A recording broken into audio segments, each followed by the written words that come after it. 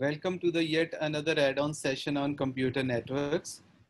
In this session, we will discuss the satellite communication and specifically we will be discussing about Iridium. Iridium, the concept of Iridium uh, system was started in 1990 by Motorola with 77 low Earth orbit satellites. The initial name came from the 77th chemical element in the periodic table, that is, that is iridium.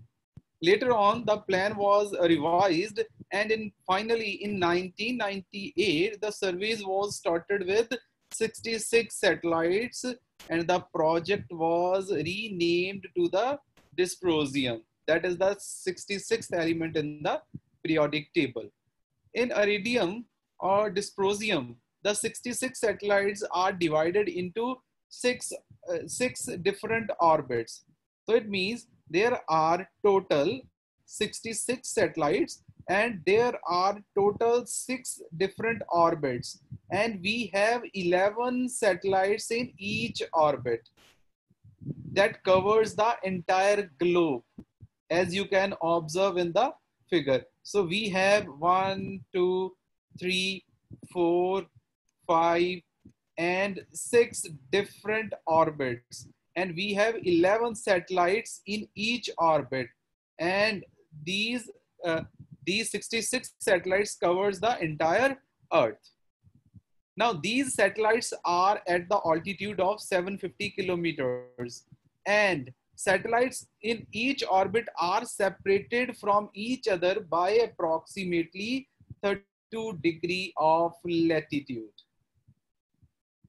Each satellite has maximum 58 spot beams. I mean, uh, the cell, uh, 48 cells are covered by a satellite. With a total of 66 into 48 that that is there are total 3168 footprints.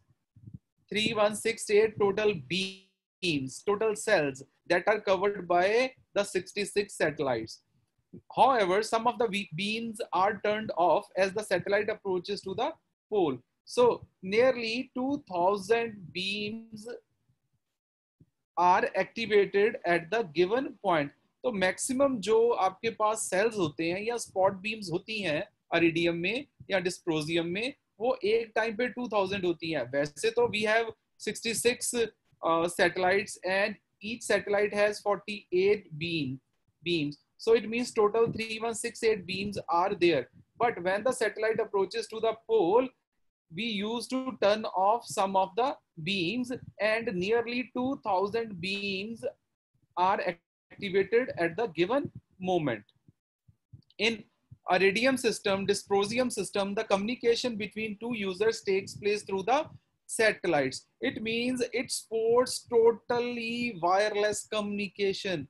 Iridium is the first uh, network that is totally wireless. We don't use any base stations in Iridium. So when a user call to the another user, now let's suppose that uh, this user, let, let, let number this uh, him as one and let's number this user as two. Now suppose user number one wants to call to the user number two. So what will happen? The call will be connected to the nearest satellite. Then that call will be relayed using the different satellite up to the destination point. So there is no involvement of the base stations at all. The network is totally wireless.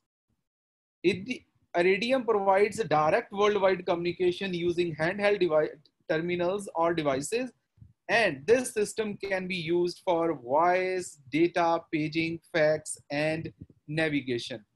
But the biggest feature of dysprosium or iridium is it's, it's a totally wireless system. Thank you very much for joining.